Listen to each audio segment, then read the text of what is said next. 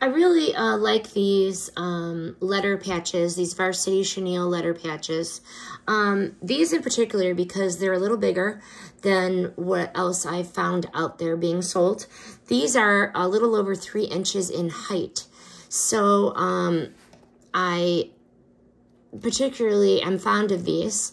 Um, they um, come in various colors, but this is the white with the gold trim. Comes in a pack of four. Um, and they are um, iron-on letter patches. So I'm going to use these on a crafting project and I'm going to heat press them onto an item.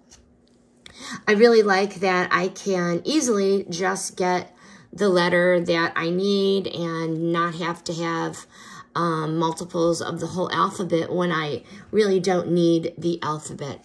Um, it comes with these other cute little patches, um, these other little patches if you, you know, want to use those as well. But um, these are a fun addition to any um, craft or uh, clothing piece. Um, I've used these and I have not yet had any problem with their durability um, or their ease of use. So I am going to put it on this jewelry box. Um, I chose the three inch one for the reason that it is going to fit nicely on here.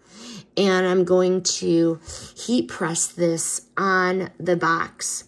Um, I do know that you can also sew these on if you want um, with your sewing machine, but they do have the um, iron-on applique on the back.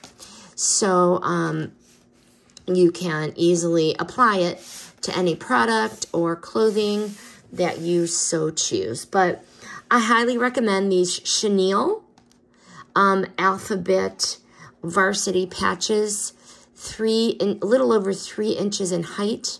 Um, definitely pleasantly surprised with these.